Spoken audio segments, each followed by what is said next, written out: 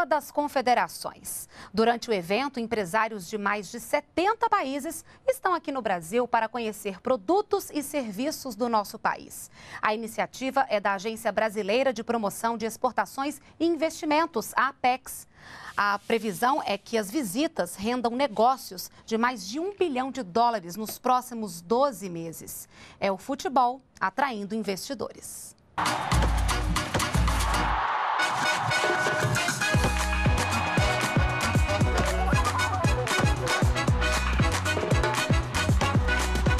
Brasil, a pátria de chuteiras. Bonito por natureza e destino privilegiado para empreendedores.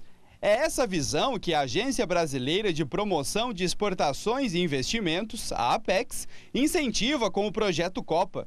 A ideia é aproveitar o campeonato e trazer empresários estrangeiros ao país para mostrar os potenciais de investimentos e parcerias de negócios. Nós temos aproximadamente 1.500 convidados, quase mil convidados são internacionais.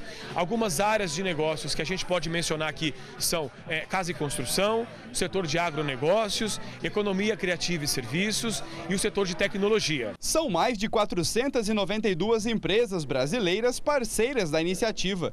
A presidente da Associação Guatemalteca de Franquias, Fiorella Perini, diz que vai levar boas experiências para o seu país. Ela aprova a ação de promover encontros durante a Copa. Esse é o momento de empreender, esse é o momento de fazer negócios, esse é o momento de proponer ideias e também de levar ideias a nosso país. O projeto da PEX Brasil deve promover 432 agendas de negócios durante a Copa das Confederações.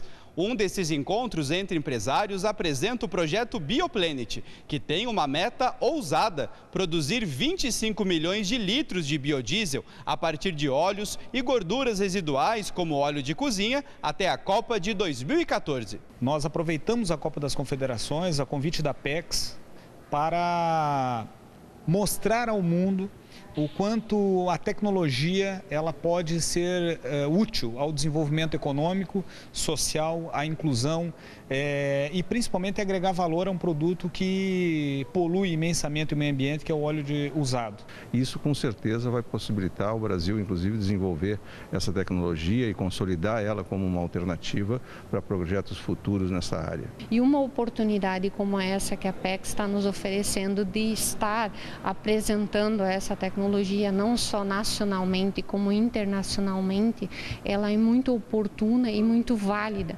porque reforça né? É, sendo que se fosse, se não fosse pela Apex, a empresa organizar isso num evento separado para apresentar é muito difícil.